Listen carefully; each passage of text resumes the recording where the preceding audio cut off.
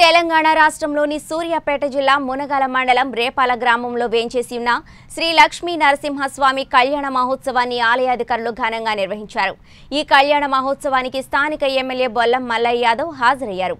ఈ సందర్భంగా ఎమ్మెల్యే బొల్ల మల్ల యాదవ్కు ఆలయ అభివృద్ధి కమిటీ చైర్మన్ గండు వెంకన్న గౌడ్ అర్చకులు పూర్ణ కుంభంతో స్వాగతం పలికారు. దేవాలయంలో ప్రత్యేక పూజలు నిర్వహించిన అనంతరం స్వామివారి ఎదుర్కోరు కార్యక్రమాన్ని కన్నుల పండుగగా నిర్వహించారు. ఈ వేడుకల్లో భాగంగా నిర్వహించిన సాంస్కృతిక కార్యక్రమాలు పలువురిని ఆకట్టుకున్నాయి. ఈ సందర్భంగా పలువురు మాట్లాడుతూ కోరుకున్న వారికి కొంగు బంగారమై సంతాన ప్రాప్తి స్వామిగా విశేష విశిష్టత కలిగిన స్వామిగా రేపాల లక్ష్మీ నరసింహ స్వామి పేరు గావించారన్నారు. ఈ ఆలయం తెలంగాణ రాష్ట్రంలో మరో యాదాద్రిగా రూపుదిద్దుకోవాలని దీనికి ప్రభుత్వం సహాయ సహకారాలు కూడా అవసరమన్నారు.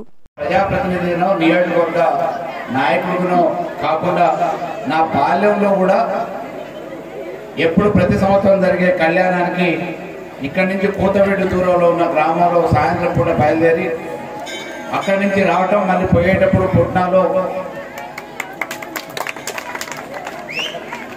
చిలుకలు పొంగులు పేలాలు కొనుక్కొని జేబులో వసుకొని తినుకుంటూ తినుకుంటూ మళ్ళీ తెల్లారేసరికి ఇంటికి పోయి అటువంటి అనుభవాలు ఎన్నో ఉన్నాయి.